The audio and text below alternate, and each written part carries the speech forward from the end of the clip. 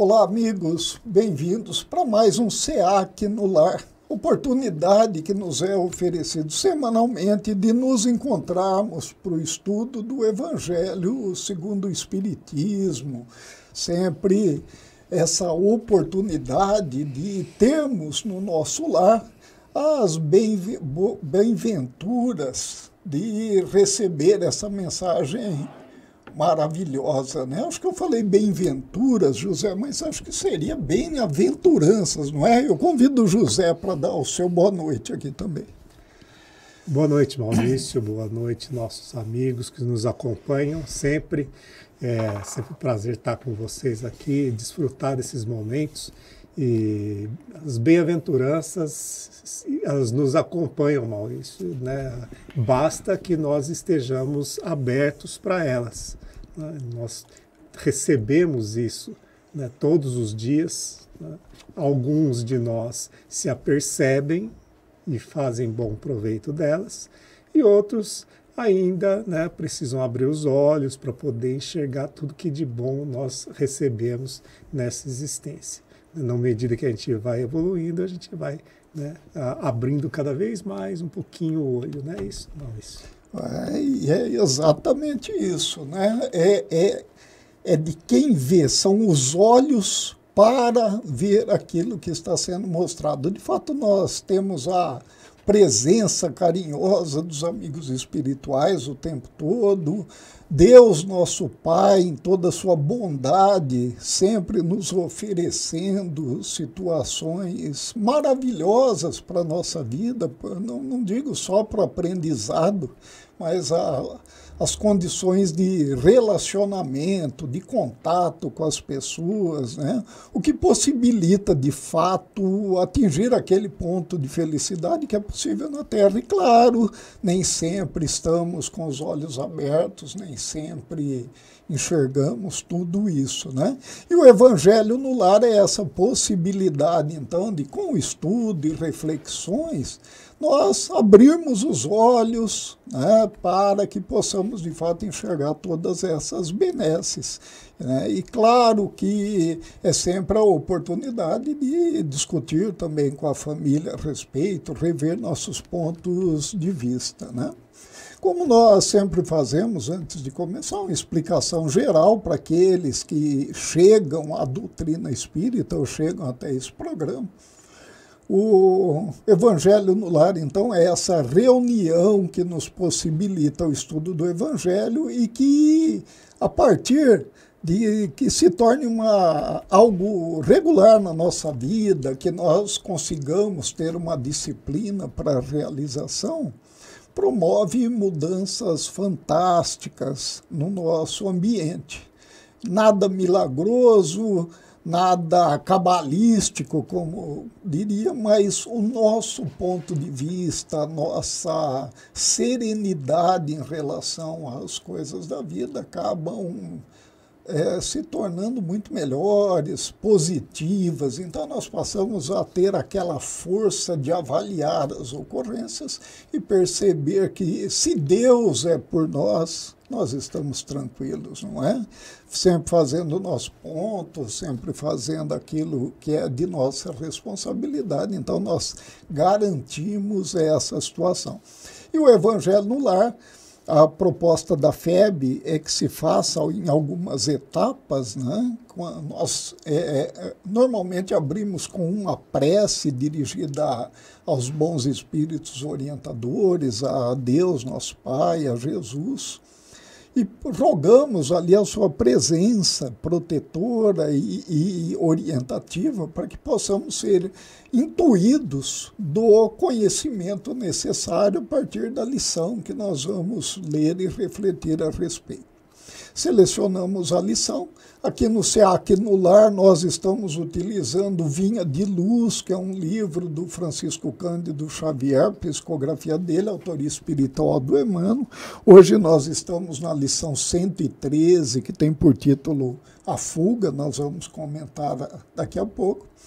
É uma lição que tem por origem um versículo do Evangelho é, isso facilita para nós, de certa maneira, o contato com o público, os esclarecimentos. Mas nós podemos pegar o Evangelho segundo o Espiritismo, com, com as instruções, orientações que os Espíritos nos trazem, a compilação de Allan Kardec, e isso então nos traz grandes esclarecimentos. Demora em torno do que 15, 20 minutos entre leitura e reflexões. Aqui nós demoramos um pouco mais, porque temos o tempo da rádio e TV SEAC, então nós vamos ocupar o espaço de uma hora aproximadamente. Depois da leitura são feitas as reflexões, como nós vamos fazendo aqui. Aqui nós fazemos passo a passo, depois da primeira leitura. Encerra-se com uma prece também e agradecimento. É comum também que tenhamos a, o costume de deixar água para fluidificar né, que é a, aquela que pode ser sorvida ali depois é, desse estudo, depois é, das reflexões. Eu pergunto ao José se gostaria de comentar a respeito da água fluidificada ou outro assunto que seja interessante e pertinente. Maurício, que bom né, que a gente tem esse hábito da, da água, né, de ter a água fluidificada nas nossas reuniões, nas nossas orações. É, primeiro porque, como todos nós sabemos, água é vida. Nós todos né, somos dependentes bastante desse mineral que é a água, né? e a água nos auxilia de, uma, de diversas formas. Como mineral, a água é sujeita a algumas modificações das suas qualidades e durante os, as orações nós vibramos de forma positiva, juntamente com a espiritualidade e com o magnetismo, de forma que a água se modifica, se transforma. E nessa transformação, ao nós tomarmos essa água, nós também somos influenciados por essas boas vibrações.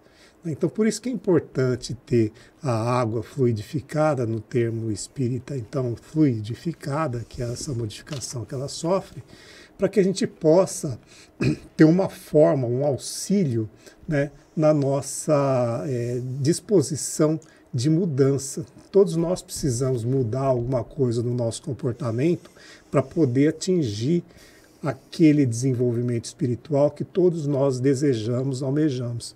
Né? E essa disposição, essa vontade, né? esse desejo de mudança, ele é favorecido por essas todas as atividades que nós fazemos. A água é uma delas, mas também a própria oração, a própria reflexão, o estudo, as leituras, a disposição de seguir a Jesus, seguir os seus ensinamentos, tudo isso favorece a essa nossa evolução. Tá? Então nós colocamos sempre a água perto de nós, para que nós possamos ter a fluidificação dela e assim nós também aproveitarmos mais esse dispositivo, mais esse, essa alternativa de mudança. Né? É isso, Maurício. Quanto ao, ao, ao, tipo de, de evangelho no lar que cada um faz, você me perguntou a respeito de outros assuntos, é sempre a questão que é comum né, entre várias pessoas, vários daqueles que nos acompanham, é se eu devo fazer o evangelho no lar em grupo, separado, sozinho, em voz alta, em pensamento. São todos assuntos que a gente vem repetindo, né? Todas as vezes que nós nos encontramos e a gente fala sobre isso, porque sempre algumas pessoas estão nos assistindo pela primeira vez, estão é, conhecendo o Espiritismo é, agora, né? Depois de um certo tempo, vindo de outras fés, de outras religiões. Aí a gente fala, olha ah, o momento do Evangelho no Lar é um momento de conexão com Deus, com o divino. Então, a, a, sua conexão ela pode ser feita de todas as formas. Se você fizer essa, esse momento de oração junto com seus familiares, ótimo, você vai estar fazendo dentro da sua casa, abençoando a sua casa, abençoando os seus familiares, aproximando-se dos seus familiares ainda mais, né, de forma mais emocional, mais intuitiva. E com isso você consegue também uma harmonização daquele ambiente. O seu ambiente familiar fica mais tranquilo, mais pacífico. Né? Se você não puder fazer com seus familiares, você pode fazer com pessoas com quem você habita né, na sua casa, desde que haja disposição para isso. Né? Se você não consegue nenhuma das duas situações, se você só consegue fazer sozinho por motivos vários, que você não consiga reunir as pessoas, faça sozinho. Ah, mas aí se eu vou fazer sozinho, eu me sinto é, incomodado, eu me sinto constrangido de ficar falando em voz alta. Porque o meu amigo que está no quarto ao lado, ele vai se sentir incomodado, vai pensar, poxa, mas o que, que ele está falando sozinho lá, né? Então, não tem importância se você fala em voz alta ou se você quiser fazer somente no seu pensamento. Leia, leia os livros, leia o texto, seja ele qual for. Se você pegar a Bíblia, ótimo. Se você pegar um dos livros da doutrina, ótimo. Mas você pegar um livro como esse, que é o no, que nós utilizamos aqui, que é o Vinha de Luz, excelente.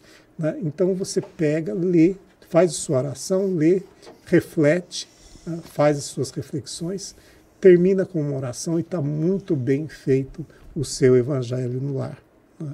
Então, é, a, a, o formato, ou melhor, o conteúdo, é mais importante que o formato. Então, siga da forma como você achar melhor. Tá? A gente dá algumas instruções para poder ter um padrão, poder ter uma, um costume, né? uma, uma forma de fazer sempre desse jeito. Né, Maurício? Exatamente. E, e a, a, própria questão da disciplina em se realizar esse encontro de estudo, né? Nós aqui, por exemplo, fazemos as quartas-feiras das 18h30 às 19h30. É importante que realizando em casa também, seja com os parentes ou não, que haja um dia e hora específico, por questão de disciplina. Nós vamos nos acostumando, então para aquele horário nós não marcamos nada, nós, é um horário que sempre procuraremos é, estar em casa, à disposição. Né? A disciplina na vida das pessoas é muito importante. Hoje em dia, muitas vezes a palavra disciplina é vista até, de certa maneira, pejorativamente, como se fosse algo que engessasse, que enlatasse, mas não. A disciplina é importante para o crescimento da pessoa, para o crescimento espiritual. Nós não vamos encontrar progresso se não houver, de certa maneira, disciplina. Né? Eu acho que podemos dar início, então, como eu disse, prece, leitura, reflexões, prece de encerramento, né? Então eu convido nesse momento a todos para a prece de abertura, elevando o pensamento a Deus, nosso Pai de amor e bondade, a quem rogamos nos permita a realização desse encontro de estudo com todos os irmãos que conosco se reúnem nesse momento e nos acompanham nesse estudo do Evangelho, que permita-nos a presença espiritual dos amigos orientadores que sempre estão conosco de maneira generosa, nos intuindo sobre aquilo que é necessário para o nosso aprendizado, para o nosso progresso espiritual. E a Jesus, nosso mestre, nosso irmão maior, que sempre é, disponibiliza as oportunidades de orientação e de progresso para nós, que esteja uma vez mais conosco e nos ampare nesse propósito. Que assim seja. Vamos à leitura, então. Primeiro, uma leitura direta do texto e depois a gente volta lendo e comentando. Né? É o livro Vinha de Luz, lição número 113, que tem por título A Fuga. E orai para que a vossa fuga não aconteça no inverno nem no sábado. Palavras de Jesus em Mateus capítulo 24, versículo 20. Nos diz Emmanuel, a permanência nos círculos mais baixos da natureza institui para a alma um segundo modo de ser, em que a viciação se faz obsidente e imperiosa para que alguém se retire de semelhantes charcos do espírito, é imprescindível que fuja. Raramente, porém, a vítima conseguirá libertar-se sem a disciplina de si mesma. Muita vez é preciso violentar o próprio coração. Somente assim demandará novos planos. Justo, pois, recorrer à imagem do Mestre quando se reportou ao planeta em geral, salientando as necessidades do indivíduo. É conveniente a todo aprendiz a fuga proveitosa da região lodacenta da vida, enquanto não chega o inverno ou os derradeiros recursos de tempo recebidos para o serviço humano. Cada homem possui com a existência uma série de estações e uma relação de dias estruturadas em precioso cálculo de probabilidades. Razoável se torna que o trabalhador aproveite a primavera da mocidade, o verão das forças físicas e o outono da reflexão para a grande viagem do inferior para o superior. Entretanto, a maioria aguarda o inverno da velhice ou do sofrimento irremediável na terra, quando o ensejo de trabalho está findo as possibilidades para determinada experiência jazem esgotadas. Não é o fim da vida, mas o termo de preciosa concessão. E, naturalmente, o servidor descuidado, que deixou para sábado o trabalho que deveria executar na segunda-feira, será obrigado a recapitular a tarefa, sabe Deus quando. Excelente orientação do Emmanuel, como sempre nos faz, chamando a nossa atenção para uma série de circunstâncias que são de fato importantes. E como eu disse, nós vamos então à leitura agora pausadamente as nossas reflexões a respeito, título A Fuga e orai para que a vossa fuga não aconteça no inverno, nem no sábado. Jesus em Mateus capítulo 24, versículo 20. E para contextualizar esse momento da fala de Jesus, eu peço então a ajuda do José. Maurício, é, esse momento então da, dessa passagem de Mateus no capítulo 24 é um momento em que é, Jesus né, estava já entrando em Jerusalém, né, já nos últimos momentos. Então você tem aquela passagem que é conhecida como o, o, a, o Domingo de Ramos, né, em que Jesus entra em Jerusalém sentado num burrinho né? As pessoas vão saudando a Jesus conforme ele vai passando, porque ele já era então conhecido como um profeta né, muito famoso, haviam diversos seguidores, e ele vai entrando em Jerusalém né, para pregar e seguido pelos discípulos. Então, depois que ele chega a Jerusalém, ele faz uma série de é, palestras, digamos assim, né, ele ensina, ele vai até o templo, ele ensina, ele fala, ele faz profecias, né, e já preparando também os próprios discípulos para aquilo que está por vir. Não só em relação a ele próprio, mas em relação aos discípulos.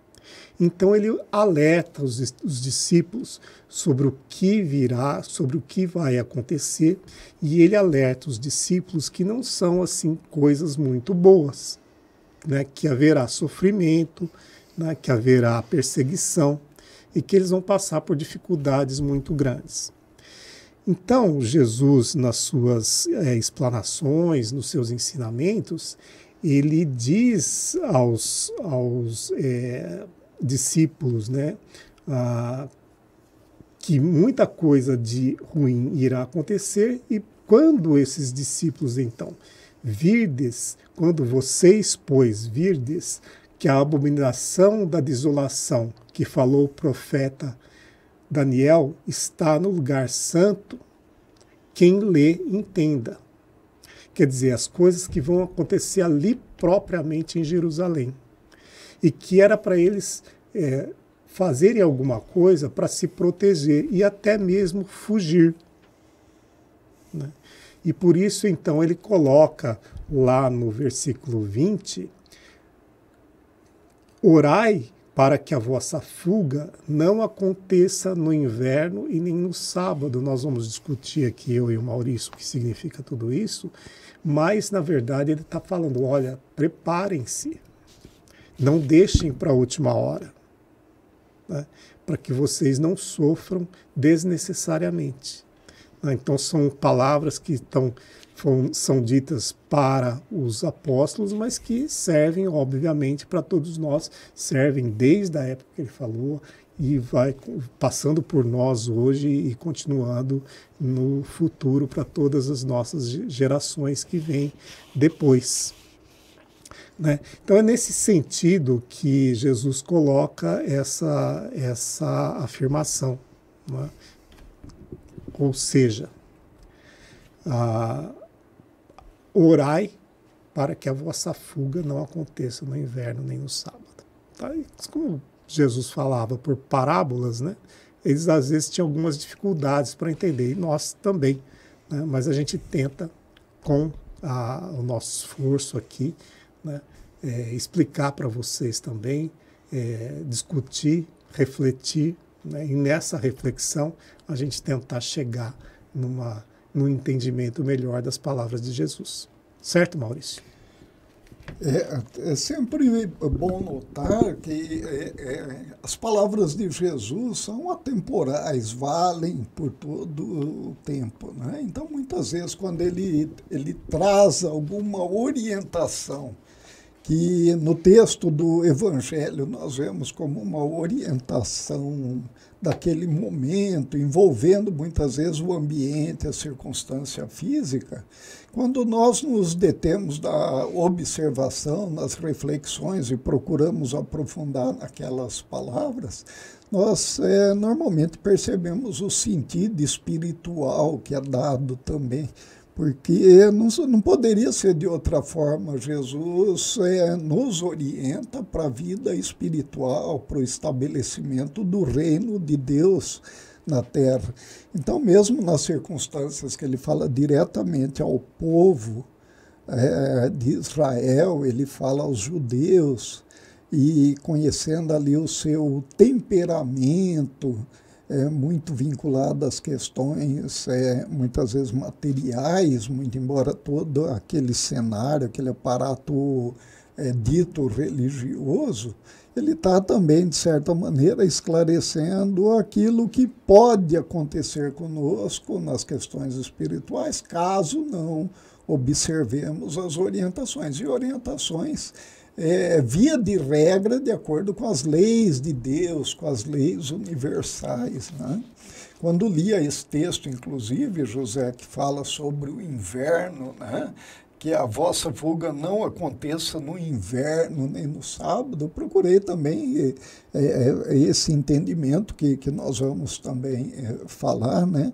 Mas eu me lembrava, por exemplo, né, do projeto social que é, que nós participamos e que tem todo o desenvolvimento de atividades, ou pelo menos teve ao longo de duas décadas e meio, é, fundamentado na antroposofia né, e na pedagogia Waldorf, onde nós consideramos o inverno um momento em que a vida se retrai, que a vida se mantém menos viva, digamos assim.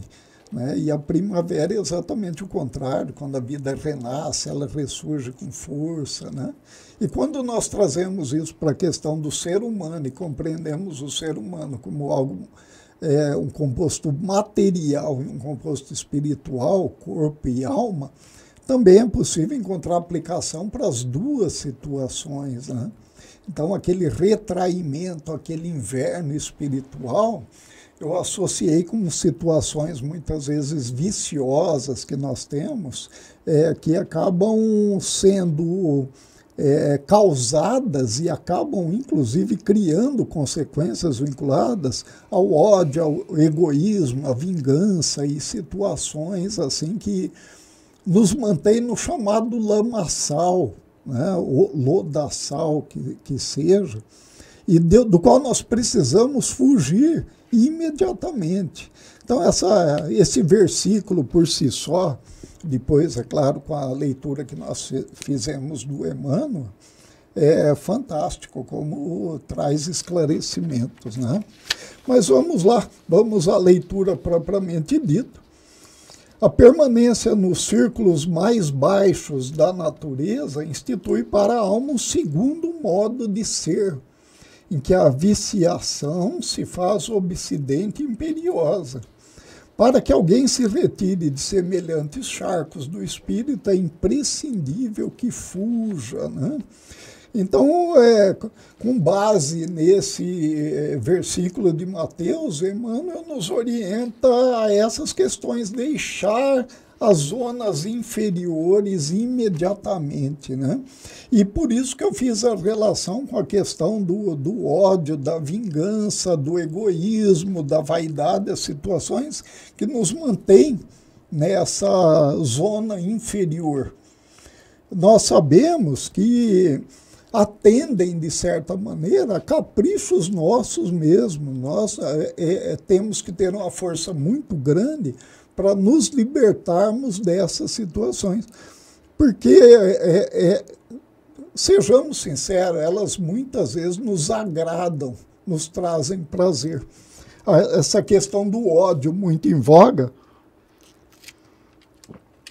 e que as pessoas parecem que têm vergonha de dizer que sente ódio de alguma coisa, ou que sentiram ódio, porque Sim, pra, pra, pode ser, de, de, certa maneira, vergonhoso né, falar isso. No entanto, é comum na natureza humana que sejamos aprisionados nessa situação e tenhamos, de certa maneira, um prazer nessa situação.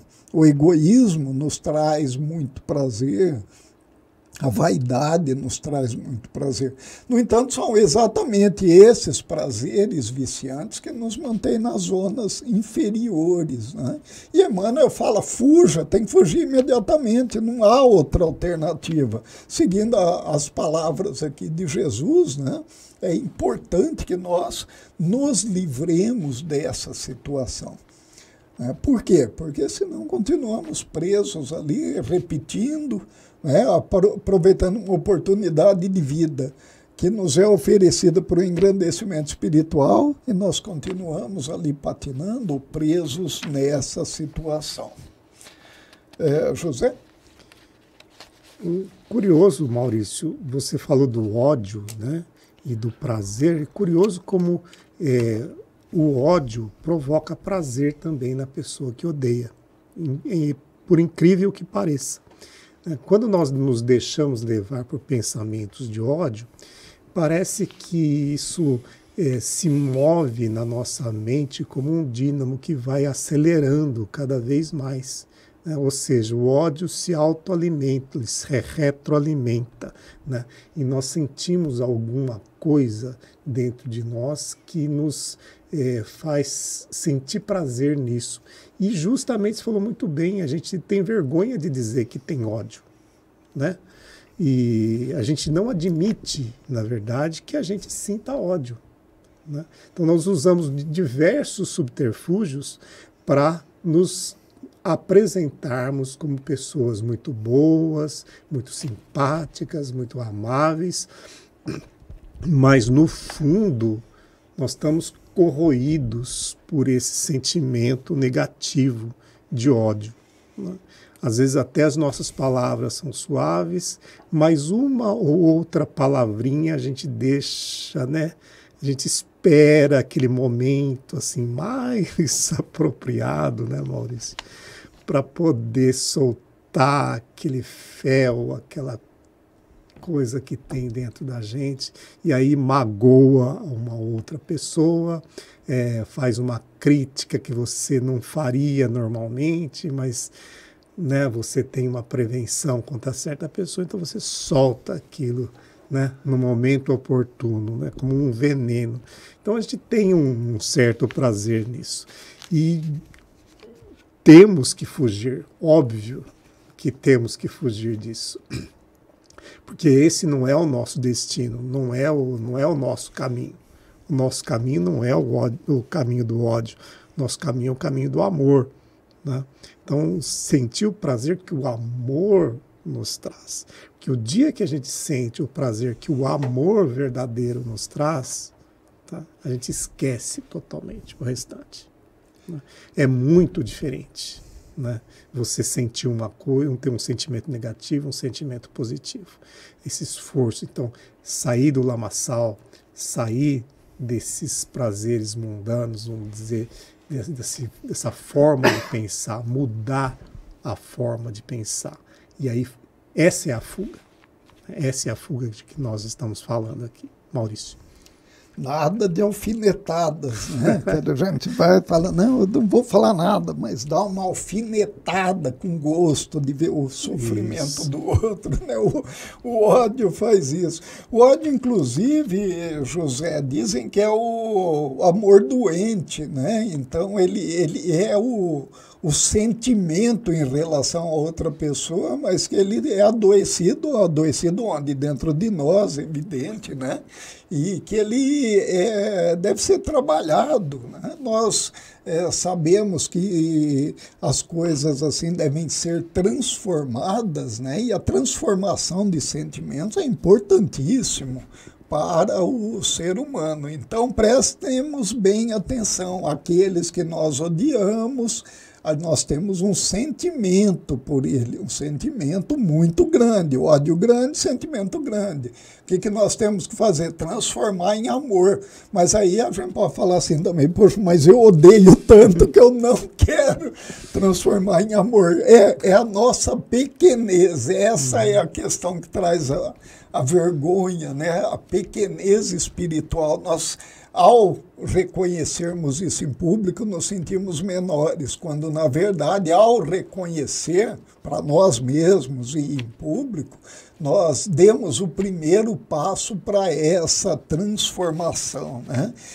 E é interessante porque quando nós queremos de fato re realizar essa transformação, o universo, já ouviram essa frase, o universo, o universo conspira a nosso favor, porque as leis de Deus nos empurram para isso, nos empurram ao caminho certo, né? E como José falou, poxa vida, quem hoje se compraz no ódio, no egoísmo, na vaidade, ao desenvolver um amor e, e, e, trazer esse prazer a partir do amor, certamente não dará um passo atrás, porque terá aprendido de fato né, o que é. O amor é a maior força do universo, é o amor que rege todo o equilíbrio do universo. Né?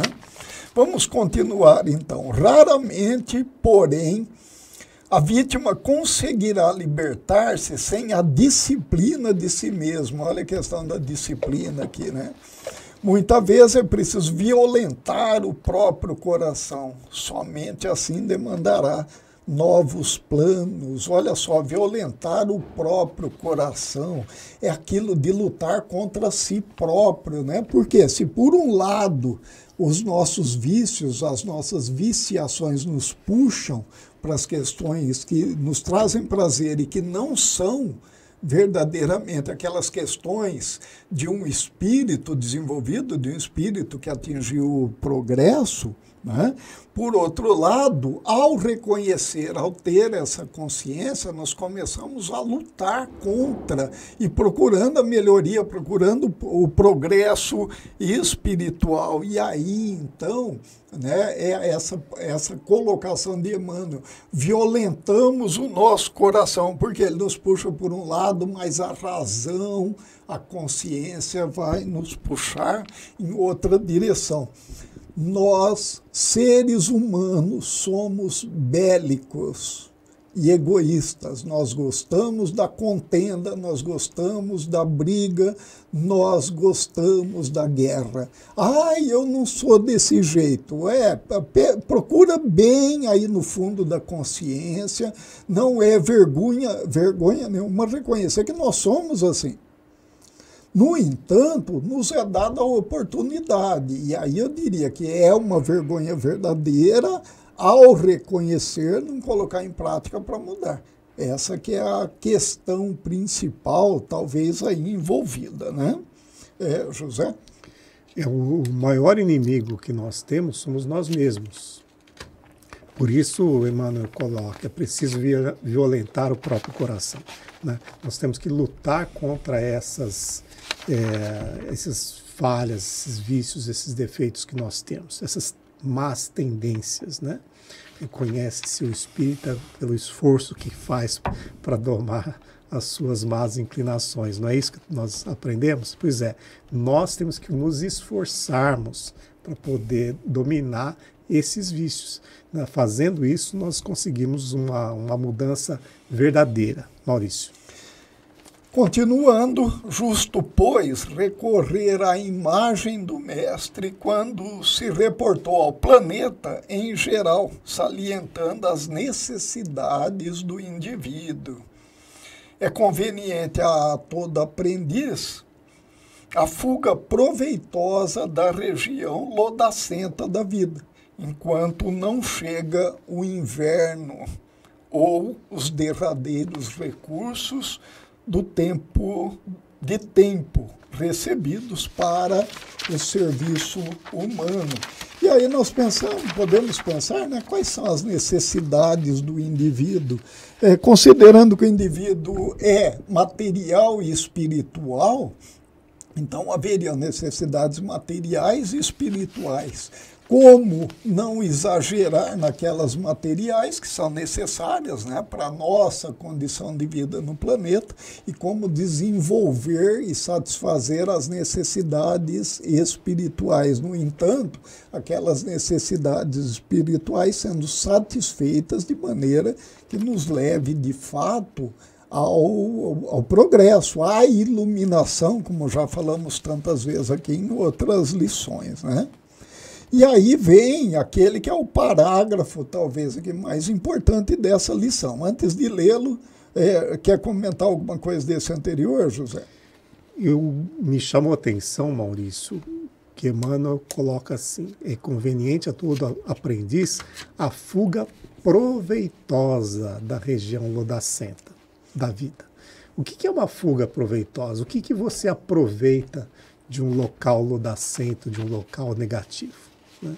São as lições. Né? Então, ah, nós temos algumas situações que nós passamos que nos são muito difíceis, dificultosas, mas que nos coloca na posição extrema de aprendermos com aquilo que é negativo a nos tornarmos melhores. Então, a, as, as situações negativas que muitas vezes nos ocorrem, elas estão ali para nos ensinar alguma coisa.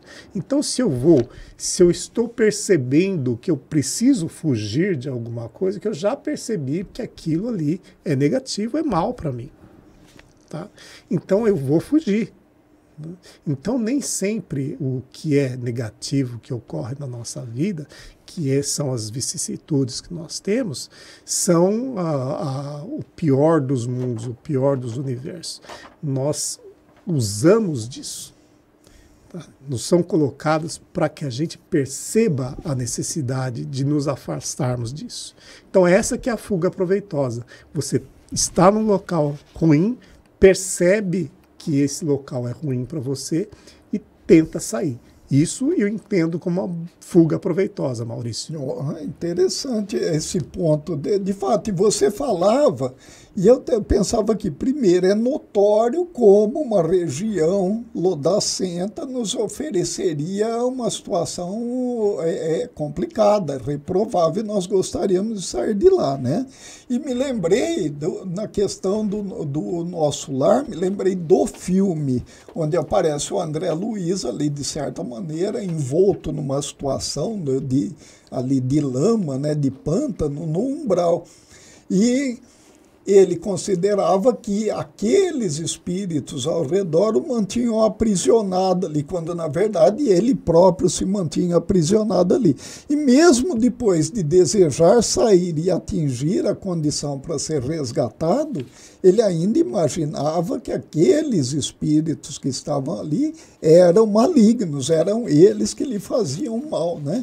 Eu acredito, José, que se trouxermos para a questão da nossa vida, do dia a dia, muitas vezes nós nos comportamos igual também. Né? Nós é, sabemos que a situação não é boa e nós acreditamos aquele, aquela situação negativa a uma série de causas que muitas vezes é, estão fora de nós. Nós não olhamos para dentro para ver o quanto aquilo mantém.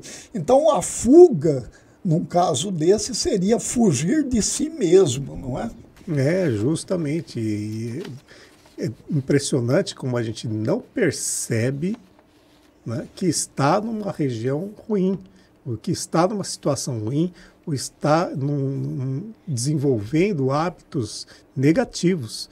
Então, aqueles espíritos que Maurício falou sobre o, o filme do André Luiz, ou o livro do André Luiz, né, é, O Nosso Lar, aqueles espíritos não, nem percebem que estão numa regi região lodacenta. Nós também, às vezes, nos é, encontramos em regiões que são totalmente desfavoráveis para nós, situações totalmente desfavoráveis, mas nós nos apegamos àquilo materialmente. Tá? Então nós nunca vamos fugir disso. É claro que nunca vamos fugir se a gente não percebe que é ruim. Tá? Então perceber que é ruim é o primeiro passo tá? para tentar sair daquela situação. Aliás, aproveitando, né, é sempre bom lembrar, nós estamos aqui falando do livro Vinha de Luz, psicografia do Chico Xavier, autoria espiritual do Emmanuel. Mas é importante para aquele que acompanha, que gosta da doutrina espírita, que é simpatizante ou mesmo estudioso, gostaria de ser um estudioso da doutrina, a leitura das obras básicas. Aqui, notadamente, o Evangelho segundo o Espiritismo completou é, 160 anos agora, no último dia 15. É importante a leitura do Livro dos Espíritos, um livro com perguntas e respostas, são duas das obras básicas do Espiritismo. Né?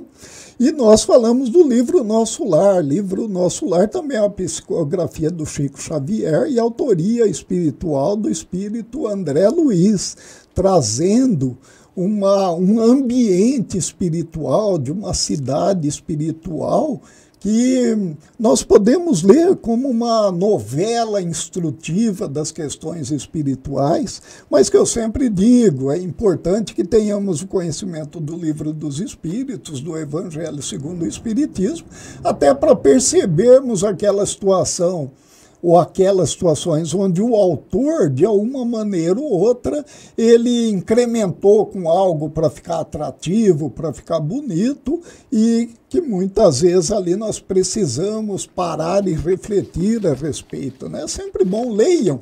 É muito interessante, agradável, prazeroso e instrutivo, claro. E vamos para o parágrafo, então, que eu tinha dito antes. Cada homem possui com a existência uma série de estações e uma relação de dias, estruturada em precioso cálculo de probabilidades. Razoável se torna que o trabalhador aproveite a primavera da mocidade, o verão das forças físicas e o outono da reflexão para a grande viagem do interior inferior para o superior. Entretanto, a maioria aguarda o inverno da velhice ou do sofrimento irremediável na terra, quando o ensejo de trabalho está findo. Olha só, hein? É, a, a, maneira que ele coloca, e a, a, o Emmanuel coloca que a situação, e que o José até falou no início, colocando como etapas da vida, né? primavera, verão, outono e o inverno. É, caminhando de um ponto onde nós temos a força física, o vigor, a possibilidade de realizações para um ponto onde vai extinguindo já essa força, ela vai se retraindo, as oportunidades que são oferecidas muitas vezes já não são visíveis ou não temos a condição de executar. Né? Olha só que interessante, eu havia citado que a gente considera lá no projeto social o inverno como esse momento de retração da vida, a primavera, quando a vida renasce. E quando nós trazemos para esse campo, é bem interessante as observações. Viu? Eu vou voltar com o José nesse ponto aqui, talvez para suas explicações aqui melhores que a minha. Vamos lá, José. Imagina. é, mas é, tem tanta questão né, do, do das estações do ano, né, Maurício? É, como também a questão de deixar para o fim, deixar para o sábado, né? É, então você usar primeiro os recursos que você tem né, nesses, nessas estações da vida, primavera, verão, né, onde existe essa energia toda né, para colocar em prática ah, as, as lições que nós aprendemos, como também tem a questão de não deixar para a última hora, deixar as coisas para a última hora. Né? Então, sábado, o que é o sábado? O sábado é o fim da semana, né? É, na tradução judaica também é o sábado onde não se não se trabalhava. Então você tem que fazer tudo até sexta-feira. Então se você tem a segunda-feira, você tem que começar. Domingo você já está começando. Domingo eu descanso, mas segunda-feira de manhã você tem que começar. Né? Então, usar essa sua energia de forma produtiva, de forma inteligente, para poder fazer o que é necessário antes que seja tarde. O que é ser tarde para nós? É deixarmos para o fim da vida. É deixarmos de fazer as nossas tarefas, que nos, deixarmos de nos melhorar, de fazer a nossa reforma íntima, para quando já não tem mais jeito. Né? Ah, quando a gente já está numa situação muito próxima né, do, do desencarne, onde a gente já está, eh, onde a gente já acumulou diversos problemas, acumulou diversas dívidas, acumulou a, a, falta de perdão, acumulou coisas que nós poderíamos ter resolvido, relacionamentos né, que nós deixamos de, de dar atenção. Né? E que aí chega no fim já está muito próximo. Assim, bom, e agora? O que, que eu faço? Ah, agora, filho, só na próxima existência, só na próxima encarnação. E aí você tem que passar um tempo, né? entender, né? resgatar, né? fazer todos os resgates, reconhecer os erros. E aí ter uma oportunidade nova de, do início, pegar tudo novamente, né? É, reencontrar aqueles espíritos com os quais nós temos é, problemas a resolver, né? para depois tentar chegar numa situação melhor. Né? É, o que, que Jesus nos, fala? Né? Que para a gente resolver todos os nossos problemas, enquanto estamos com o irmão no caminho. O caminho qual que é? É, esse, é esta existência. Resolver tudo enquanto você está andando lado a lado com o seu irmão neste caminho. Certo? Perfeito. Vamos lá, continuando então, né? finalizando. As possibilidades para determinada experiência jazem esgotadas. Não é o fim da vida, mas o termo de preciosa concessão e, naturalmente, o servidor descuidado que deixou para sábado o trabalho que deveria executar na segunda-feira será obrigado a recapitular a tarefa, sabe Deus quando. Acho que bem de acordo com isso que o José acabou de falar, né? É, o inverno, falando ali sobre o inverno da vida e sobre o sábado. Achei bem interessante, José, essa colocação, né? Como o sábado ali sendo o final, então teria que de, de, de domingo até sexta-feira, né? Por essa ótica colocar em prática as coisas. E eu pensava que sábado para esse povo, para o povo judeu, é, o que, que era? Era o dia de louvar a Deus, era o dia das festividades relacionadas à questão espiritual. Então, o dia reservado ao Senhor, aquele que não teria executado o que, teria, o que tem para fazer nos outros dias da semana, deixou para o último momento, pode não dar tempo, pode não acontecer. E aí então Emmanuel fala, será obrigado a recapitular a tarefa, ou seja, fazer novamente, sabe Deus quando, bem de acordo com a questão da reencarnação, né? deixou para o último momento, não deu para fazer e só na próxima. E é interessante, né, porque nós sabemos que muitas pessoas chegam até as questões é, da religiosidade, da procura da melhoria espiritual, já depois de uma certa idade. Enquanto são jovens, estão ali desperdiçando tempo. Alguns, muitas vezes, nem chegam às questões espirituais, chegam a ao inverno da vida, chegam à velhice sem que tivessem tido essa preocupação. Né? Então, olha só a dificuldade que causa. É, quanto mais próximo estiver do, do final, mais é, difícil, maior serão as dificuldades para fazer. E você falava aí também, José, eu estava pensando aqui, né? Falei, como será que eu estou, né? Eu já devo estar mais ou menos na sexta-feira, seis horas da tarde é. ali, né? É. E graças a Deus a gente teve essa noção, essa orientação aqui há mais tempo. Então, de certa maneira, uhum. nós vínhamos trabalhando nisso. Eu sei que há muito ainda por, por se fazer, muito ainda por se alterar nos nossos comportamentos viciosos, né? No entanto, é uma boa parte parte da lição eu acredito que esteja feita. Então seria talvez entrar nesse sábado realmente para louvar a é, Deus na exato. plenitude, né? E até pedir por novas oportunidades. Mas olha só como a questão é, é séria, a análise que o Emmanuel uhum. nos faz, né? É, José, eu te passo é, para os seus comentários, então, e o encerramento, que nós praticamente estamos chegando ao final aí, né? Sim, é, Maurício, e é isso, né? Então vamos chegar lá na. Você falou da sexta-feira às oito, às seis da tarde, né? Poxa, né? Você, como que você quer ir para o seu happy Tomara hour? que não seja, né? Tomara que seja uma quarta-feira ainda, quem é, sabe como que você quer chegar lá? Né? Previstos para viver 120 anos aí, trabalhando, né? Trabalhando.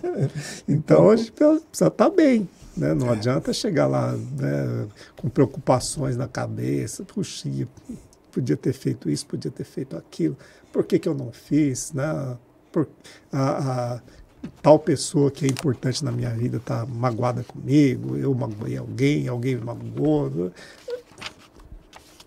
Que sentido faz né, para a nossa existência né, nós mantermos, nos apegarmos a esses tipos de, de conflito? Né? Então, vamos resolver tudo enquanto estamos caminhando né, no mesmo caminho, na mesma jornada e aí sim a gente consegue é, uma nova existência, se Deus quiser, Deus quer, né? É, que, que seja também uma existência de muito desenvolvimento, de muito amor, de muita harmonia com os irmãos.